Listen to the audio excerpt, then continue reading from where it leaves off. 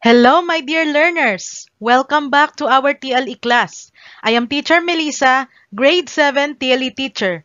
Join me as we learn new lesson in TLE 7 Computer System Servicing. Before we start with our lesson, let us first have an activity.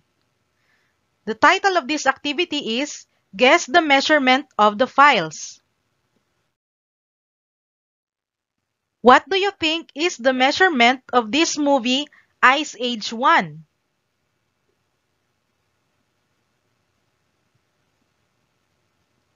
The correct answer is gigabytes. The second one, what do you think is the measurement of this character? Letter B.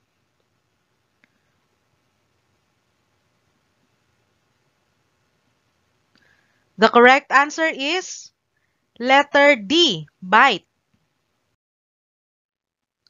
What do you think is the measurement of this audio file?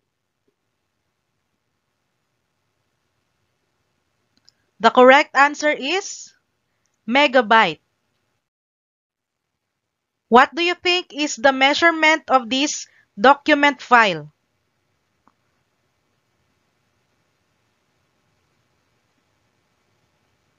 The correct answer is letter C, kilobyte. Our topic for today is Module 6, Perform Mensuration and Calculation. Here are the objectives that you will be able to meet at the end of the lesson. Number 1.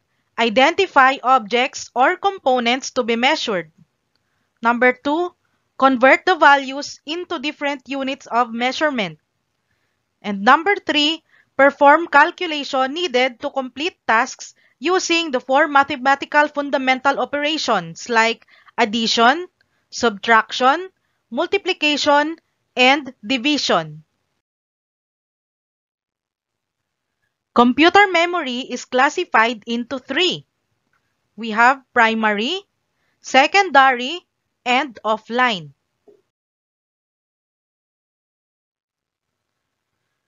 Primary storage is the computer's main memory, which is directly accessible by the CPU and often much faster than secondary storage. Examples are random access memory or RAM and read-only memory or ROM. Secondary storage is where programs and data are kept on a long-term basis. Examples are hard disk drive or HDD and solid state drive or SSD. Offline refers to non-volatile storage that can be easily removed from the computer. This is often used to transport data and keep backups for protection. Examples are CD, DVD, Blu-ray, USB flash drive, solid-state removable HDD or SSD. Here are the electronics or measuring instruments that we use in computer system servicing. Ammeter, voltmeter, ohmmeter, and multimeter. Ammeter is a measuring instrument used to measure the current in a circuit. Electric currents are measured in amperes. Voltmeter is an instrument used for measuring the potential difference or voltage between two points in an electrical or electronic circuit. Ohmmeter is an electrical instrument that measures electrical resistance. Multimeter is an electronic measuring instrument that combines several measuring functions in one unit. A typical multimeter may include features such as the ability to measure voltage, current, and resistance. To properly maintain the measuring instruments, you must consider the following. Number 1. Proper handling of measuring instruments. Number two, cleaning the instrument before and after using. And number three, proper storage of instruments is carried according to manufacturer's specifications and standard operating procedures. Let us proceed with measurements and calculations. Here are some of the terms that we use in measurements and calculation. A bit is a single binary value that may be 1 or 0. A nibble is a group of 4 bits. And a byte is a group of 8 bits and it is equal to 1 character. This table shows the measurements units in computer memory and its equivalent binary, decimal, and context.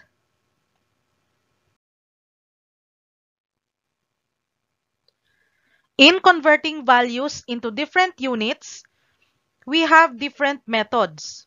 So for the first method, if we are going to convert from lower value to a higher value, like this, from byte to kilobyte or kilobyte to megabyte and so on, we have to divide it by 1024 or simply 1000.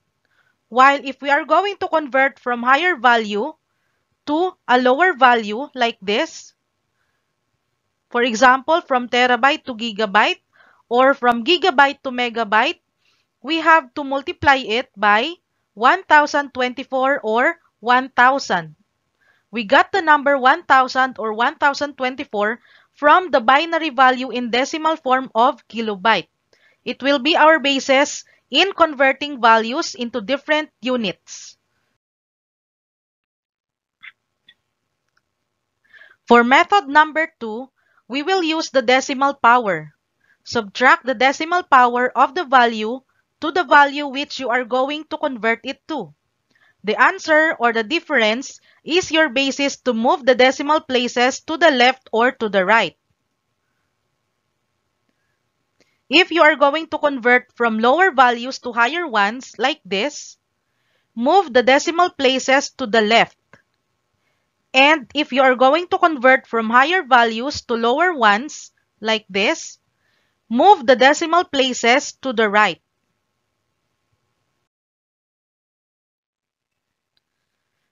Here is an example.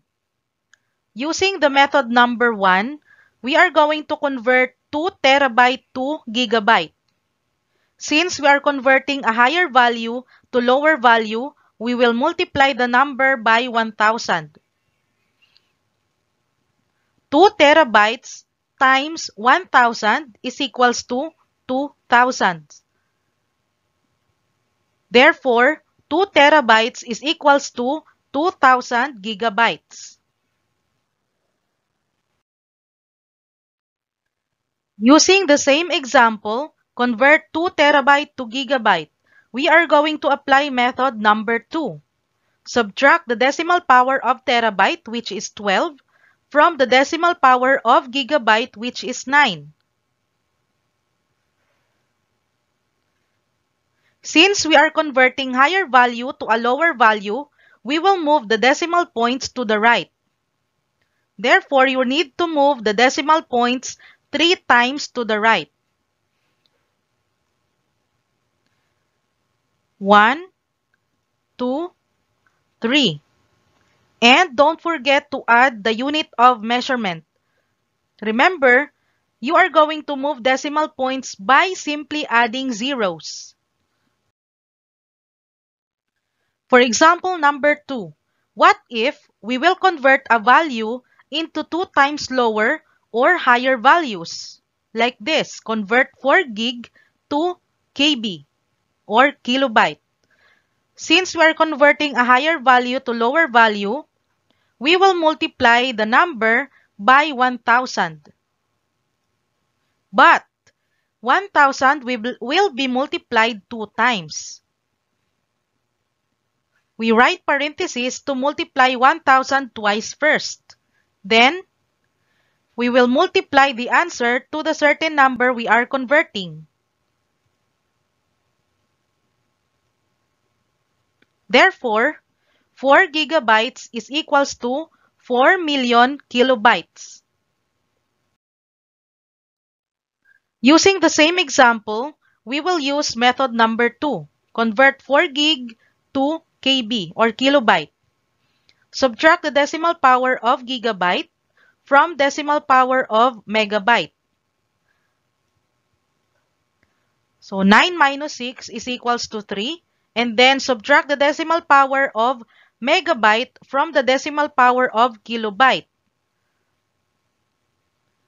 And then we add the difference 3 plus 3 equals 6.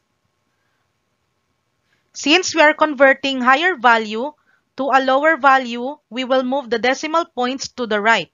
Again, move the decimal points by simply adding zeros. 1, 2, 3, 4, 5, 6. And don't forget to write or add the unit of measurement. Example number 3. Convert 6,000 megabyte to gigabyte.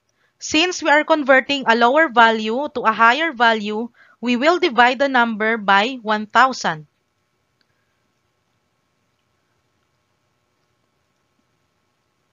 Six thousand divided by one thousand is equals to six.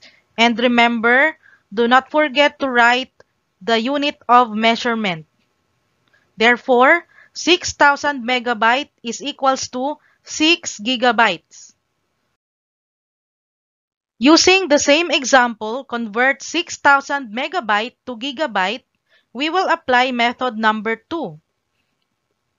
We will use the decimal power. Subtract the decimal power of gigabyte from the decimal power of megabyte. So the decimal power of gigabyte is 9 and the decimal power of megabyte is 6.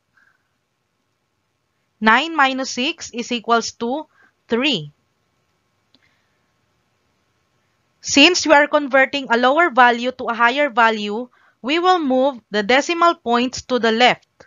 This time, we will remove the decimal points or the zeros. Like this. 1, 2, 3. Therefore, 6,000 megabytes is equals to 6 gigabytes. Let us now proceed to the conversion of decimal to binary. First, we are going to divide the number by 2 and then get the quotient and the remainder. Next is we copy the quotient, divide by 2, and get the quotient again until there is no quotient left. For example, we are going to convert the decimal 50 into binary. First, we are going to divide 50 by 2. And then get the quotient, which is 25. Now, if um, the quotient is a whole number, we are going to, to write 0 in the remainder area. Like this. And then, write the quotient again in this area, the computation area, and divide it again by 2 until there is no number left. There, 25 divided by 2 is 12.5. Now, if there is a decimal point or there is a remaining decimal point, we will write 1 in the remainder area, like this. Next, we are going to divide again 12 by 2. The answer is 6. Since it is a whole number, we will write 0 in the remainder area. And then 6 divided by 2 again is equals to 3 and then 0 in the remainder area because it is a whole number. 3 divided by 2 again equals 1.5.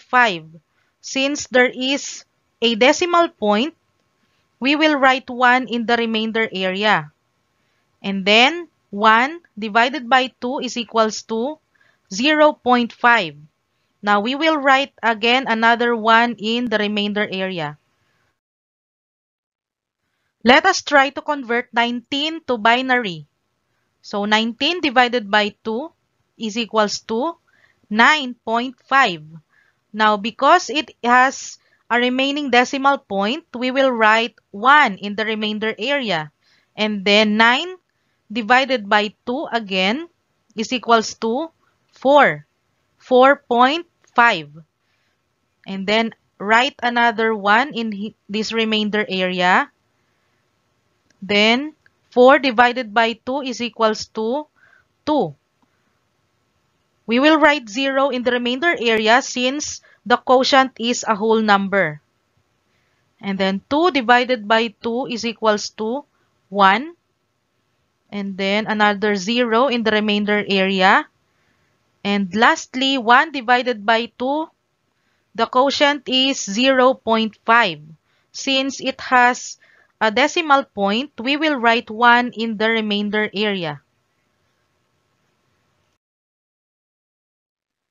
In converting binary to decimal, we use multipliers.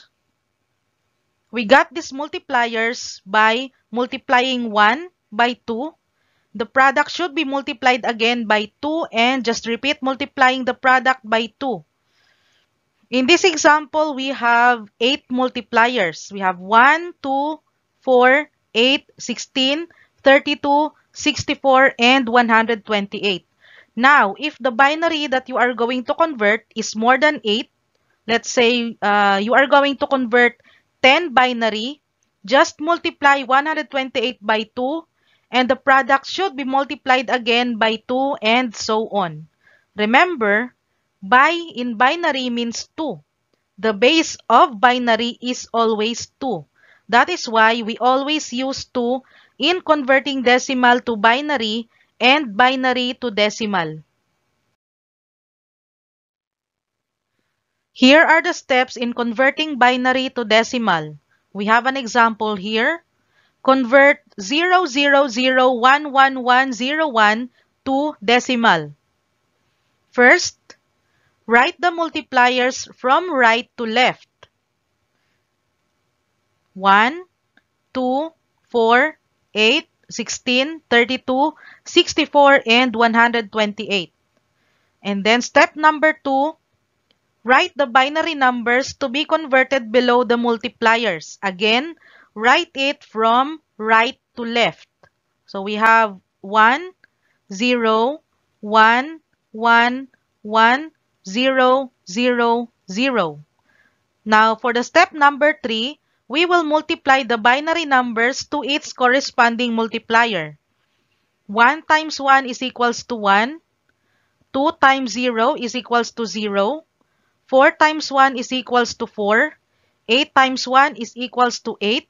16 times 1 is equals to 16. And 32 times 0 is 0. 64 times 0 is 0. 128 times 0 is 0.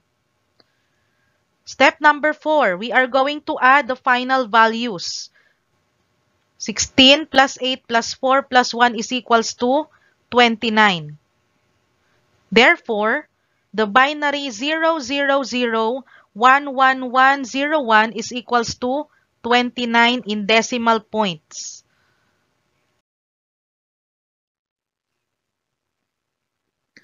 Now, let's try to convert 1001111 to decimal.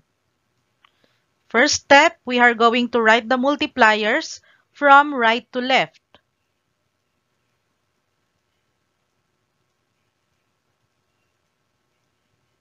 And then write the binary numbers to be converted below the multipliers. Again, we start from right to left.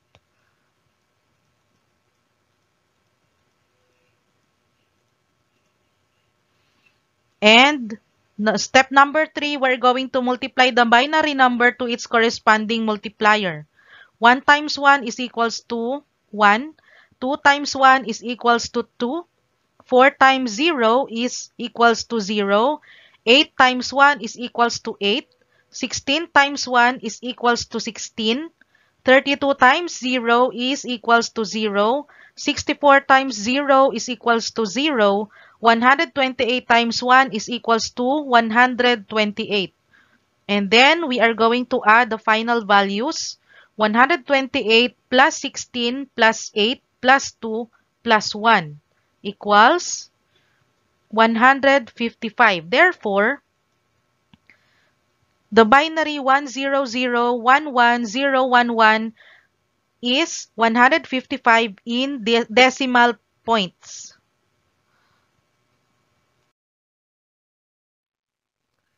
Class, we are done with our discussion. Let me check if you truly understand our lesson. For the first activity, we are going to identify the computer components that needs to be measured, especially the storage devices. First is the DVD, very good. Next one is the USB flash drive. Then we have the HDD, the SSD, the RAM, and the ROM. Alright, very good. For your assignment, copy the following in your notebook. Convert the following using two methods. Number one, convert 25,000 megabytes to gigabytes. For number two, use two methods again in converting 2,500 megabyte to kilobyte. For number three, convert 10101100 to decimal. And number 4, convert 84 to binary. Acknowledgement, special thanks to Bochinspo for this free PowerPoint template. Thank you so much.